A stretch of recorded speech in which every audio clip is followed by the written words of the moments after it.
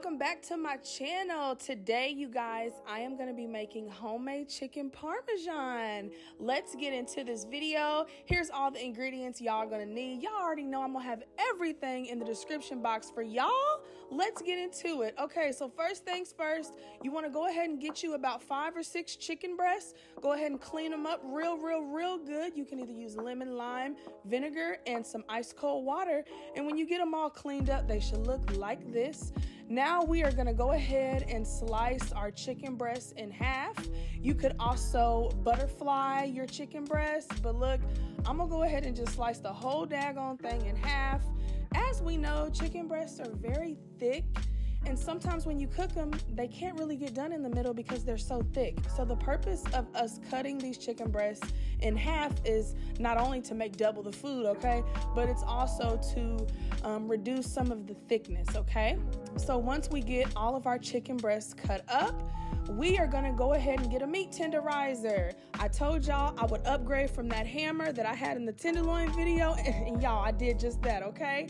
So get you a meat tenderizer um, and go ahead and try to, you know, uh, tenderize these chicken breasts. I know it's going to be kind of hard because they're really, really, really thick, like super, super thick, but just try to beat on them pretty good. Um, until they have the right consistency to you. We're all different, but when I had them, like when they were all flat, like all around, that's when I'm like, yep, these are good to go. So just make sure you um, do that.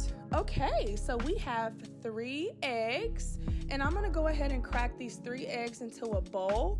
And what I'm gonna do is I'm gonna take the eggs and I'm gonna mix those up really, really well. You wanna go ahead and break down as much of the yolk as you can. We don't want these to be very yolky. We want them to be like scrambled eggs. So you want to scramble up that egg as much as possible, okay? We're going to be dipping our chicken into the egg.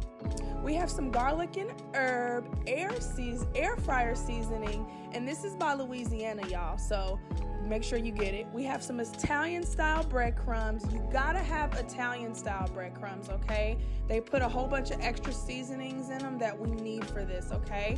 So once you get both of those poured into a nice little plate or a flat serve, like a flat dish, you're gonna want to head. Look, y'all, I can't even talk. Your girl is so excited for this video, I cannot talk. And I'm sure y'all overhearing me talk anyways. But just make sure you mix it up, okay? We are gonna take three cans of spaghetti sauce. You can use whatever kind you want. I'm using two cans of Prego and one Kroger brand. You're gonna go ahead and put that into a pan, pot, whatever. And like always, we gotta have some garlic up in there. I didn't have minced garlic, but I had chunky garlic. So I went ahead and just used the rest of that chunky garlic. I would probably say I used about a tablespoon, okay? We're gonna set it off with some onion powder we're going to use some of the Lawry's Total Seasoning because I love it so much. It's so good and it's so fire. We got to have plenty of salt because you cannot make any type of a spaghetti dish. You can't make no dish without no daggone salt, baby. And we got to have some black pepper, okay? Not too much, just the right amount, all right? We need our Italian seasoning because we're making an Italian dish. So it's quite obvious we have to have Italian seasoning. Not too much, just the right amount, okay?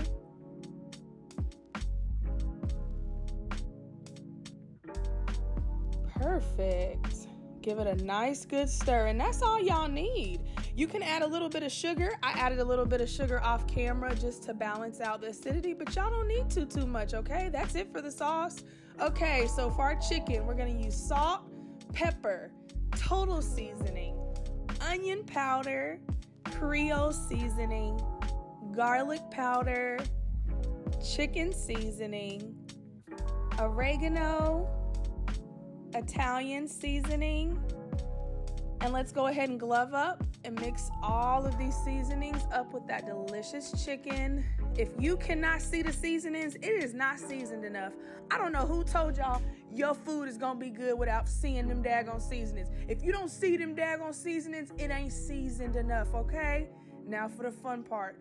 We're gonna take one of those chicken breasts, we're gonna dip it in that egg mixture, and then we're gonna take our Italian breadcrumbs and we're gonna take that Louisiana air fryer seasoning that we've mixed up and we're just gonna put it right on top, y'all. You don't want to really push, push, push the seasonings onto it. If a couple areas don't have, you know, the batter on it, that's okay. It, it's it's gonna fry. It's gonna fry regardless, baby. Okay. So let's go ahead and do the second one. Just repeat this process, you guys. It is a little bit of a tedious process in your kitchen. it's gonna be messy, baby. It's gonna be real messy. You're gonna have egg, breadcrumbs, but I promise you guys, making chicken parm at home will save you the headache of having to go to an Italian restaurant and spend a lot of money. This was busting, this was fire. My mama said is the best she's ever had. This is the best chicken parm she's ever had in her life. And my mom is not a tough cookie to please, okay? So I am I was excited by that comment. But yeah, this is the third baby. You could probably fit about three in the skillet or so. Um, if you have a bigger pot or pan or whatever, it might work out different. And if you guys do not want to fry this, you can actually bake these. Just put about two to three tablespoons of oil on the bottom of your baking dish and just put this, you know, in the oven on 350, 375 for like 30 minutes, maybe 20, 20 minutes, y'all. And you can definitely still make this without frying it. You can put it in the air fryer or you can put it in the oven, okay? But I want to keep it easy and simple, and I want to do it the way they do it at the restaurant. So I had to fry it. Look at how it looks already. Look at those seasonings. Look at those herbs. And I'm using canola oil, of course. After five minutes, we want to go ahead and give them a turn because chicken breasts it's so easy to dry them out and they overcook really easily. So we want to make sure we do not overcook these chicken breasts, y'all. They look perfect. Some spots are golden and darker than others, y'all. That is a-okay. It is to be fire, okay?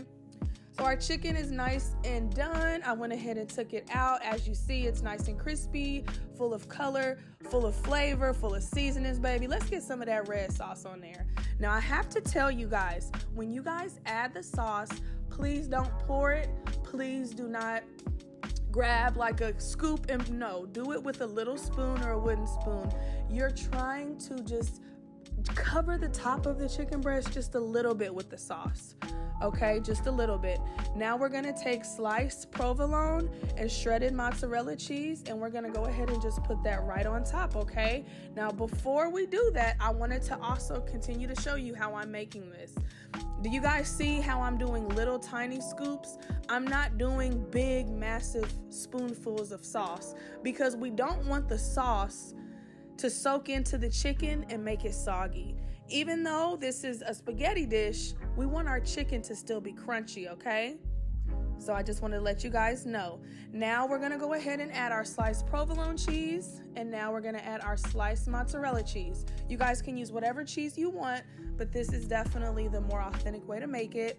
And I also have a little triangle of uh, fresh Parmesan cheese, and all I'm doing, you guys, is taking my cheese grater and just grating the Parmesan cheese right on top because it's called chicken parm for a reason. You gotta have Parmesan, baby. So just get you um, some Parmesan cheese and grate it up. I put this thing in the oven for about 30 to 40 minutes, y'all, just so that cheese can melt. I put some fresh parsley on top, and honey, look at that! Look at that cheese pool! Ah, look at that freaking steam! y'all better stop playing with Chef Rambo. I know I say that every video, but I'm so serious with it. Y'all know everything I do, everything I touch turns to gold. First time making chicken parm, and hands down, this was the best chicken parm I've ever had in my entire life. I've had it at Olive Garden, I've had it at Macaroni Grill, I've had it out of town, and y'all, this was busting. My whole family agreed. Look at that. Went ahead and just put it right over some spaghetti. And when you make your spaghetti, just no meat, all sauce, and some garlic bread on the side. Y'all know I will have everything in the description box for y'all. I love you guys. Thank y'all for supporting me. Stay tuned for the next video, y'all. Peace.